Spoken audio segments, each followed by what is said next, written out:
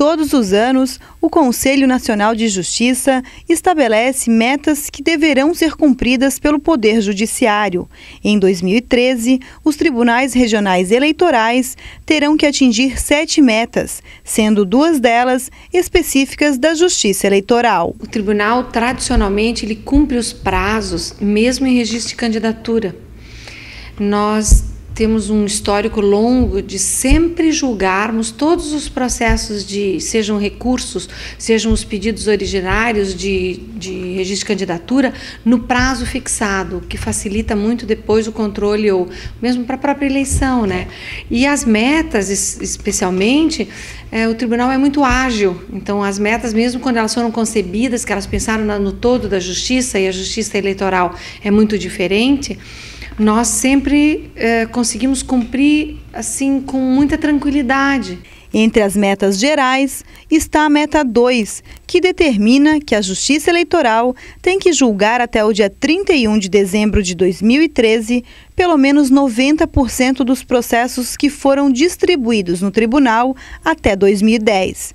No TRE catarinense, esta meta já foi cumprida antes mesmo de ser estabelecida. Como nós já tínhamos cumprido essa meta 2 em 2012, que era referente aos processos julgados e distribuídos até 2009, nós só temos mesmo o saldo de 2010.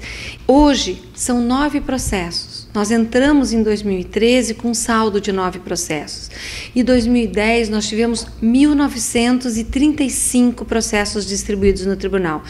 Isso demonstra que nós já cumprimos, bem antes de entrar, nós já tínhamos cumprido esse, esse percentual de 90%. E eu acredito que nós vamos cumprir, o, mais, além da meta, nós vamos julgá-los todos até o final do ano. Eu acho que o Tribunal de Santa Catarina ele tem uma boa organização ele tem a estrutura dele também propicia, porque o juiz chega aqui e ele encontra uma assessoria de juízes previamente estruturada que lhe dá esse respaldo necessário e inclusive assim essa organização para que ele possa julgar tranquilamente os processos dentro dos prazos ou mesmo assim num prazo exíguo comparados com outras justiças. O TRE pretende ainda dar prioridade ao cumprimento das duas metas específicas. A meta 7, que trata do mapeamento conjunto entre todos os TREs do país de cinco modelos de atividades desenvolvidas nas zonas eleitorais, tendo em vista a otimização e a padronização destas atividades.